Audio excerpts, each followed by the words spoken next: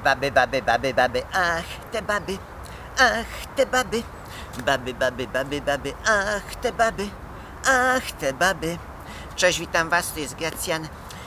E, Denerwuje mnie strasznie to, że jak na przykład się dowiedziałem, przeczytałem, że po prostu rajtuzy zostały wymyślone dla facetów, a tymczasem baby zabrały je facetom i uważane jest, że niby to jest damskie.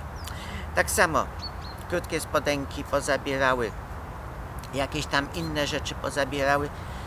No, e, nie może tak być, ponieważ w końcu dojdzie do tego, że po prostu wszystkie ubrania będą uważane, że są damskie, jakieś kolorowe skarpetki, to tam to wszystko niby damskie, damskie, damskie, a facetom pozostaną chyba tylko worki po kartoflach e, i będą chodzić w workach po kartoflach. Tak więc, że no fatalnie, nie powinno takiej być e, sprawy, że po prostu wszystko co fajne, no to sobie baby po prostu zabierają.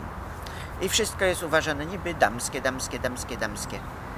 Nie, a nie. Y, ponieważ równie dobrze wszystko może być również i dla facetów. Ponieważ y, różne na przykład takie właśnie i skarpetki, jakieś rajtuzy, i jakieś krótkie spodenki, siakie, owakie, i kolorowe, getry, i takie, i takie, i leginsy, i wszystko może być też i dla facetów. I tak jest fajnie. Pozdrawiam wszystkich i na razie, cześć. Bye bye. Baby, baby, baby, baby, ach, te baby, ach, te baby. Baby, baby, baby, baby, ach, te baby, ach, te baby, ach, te baby.